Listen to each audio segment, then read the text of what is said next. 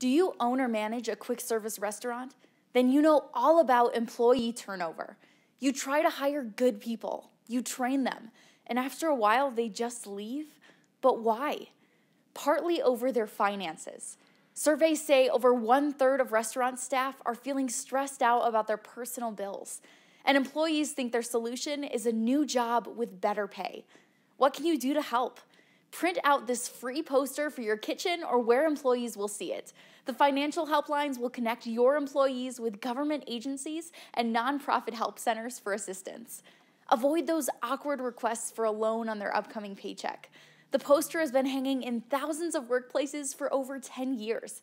The calls are free and the posters are free. So print yours and hang it on the wall today. Help reduce that turnover and show them that you care.